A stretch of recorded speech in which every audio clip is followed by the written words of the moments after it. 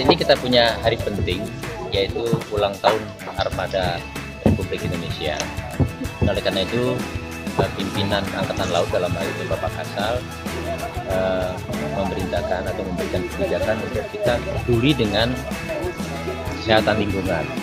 Salah satu kegiatannya di antaranya adalah melaksanakan bersih-bersih di sekitar Danau Saguling dan anak sungai Citarum.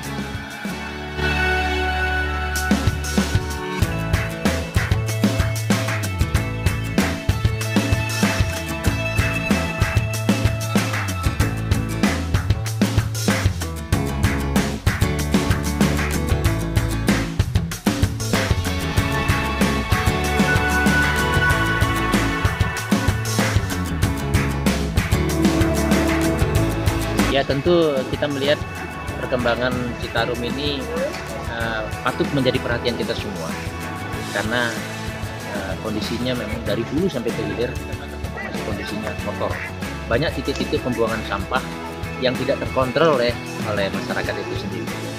Nah sehingga kita memberikan contoh kepada masyarakat supaya lain kali jangan lagi buang sampah di sungai. Kita berharap ini merupakan bagian dari pembelajaran terhadap lingkungan masyarakat supaya juga tetap peduli dengan kebersihan sungai.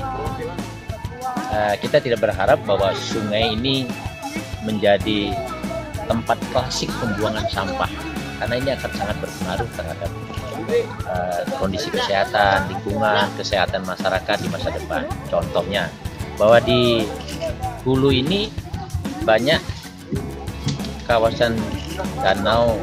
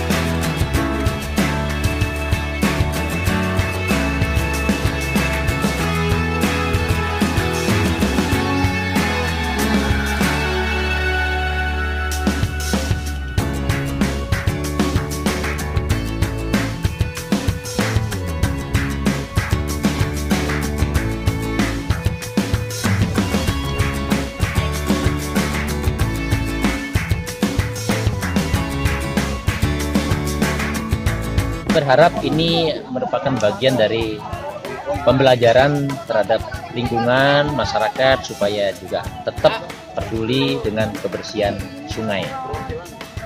Uh, kita tidak berharap bahwa sungai ini menjadi tempat klasik pembuangan sampah karena ini akan sangat berpengaruh terhadap uh, kondisi kesehatan lingkungan, kesehatan masyarakat di masa depan. Contohnya